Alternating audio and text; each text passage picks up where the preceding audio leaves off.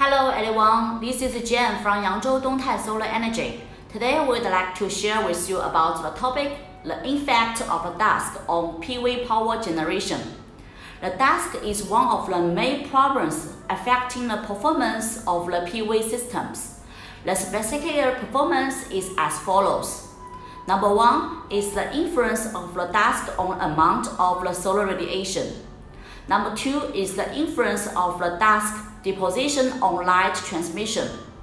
When the dust on the surface of the PV modules encounters rainfall, a small amount will be dissolved into the rainwater and will be attached to the glass surface of the PV modules again. If it is not cleaned in time, a thick and hard layer will form on the surface of the PV modules over time. Once it is formed, it is not easy to remove which will seriously affect the power generation effect of the PV modules and even cause some PV cells to generate hot spots and other problems. Number three, the effect of the dust on component temperature.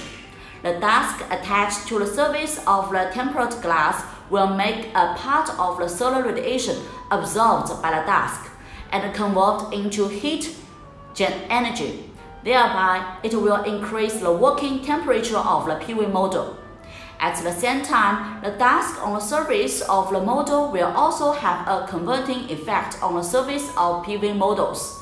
So it will affect the heat dissipation of the PV modules, and it will increase the temperature effect of the PV module and affecting the PV power generation effect.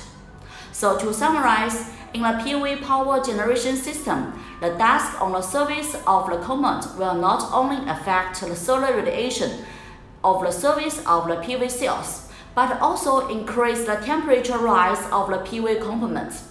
If the dust of on the glass surface is not cleaned in time, it will greatly affect the power generation performance of the PV component. Therefore, timely cleaning and keeping the surface of the PV models clean can make sure the system run more efficiently. That's all. Thanks for your hearing my video today. Bye bye.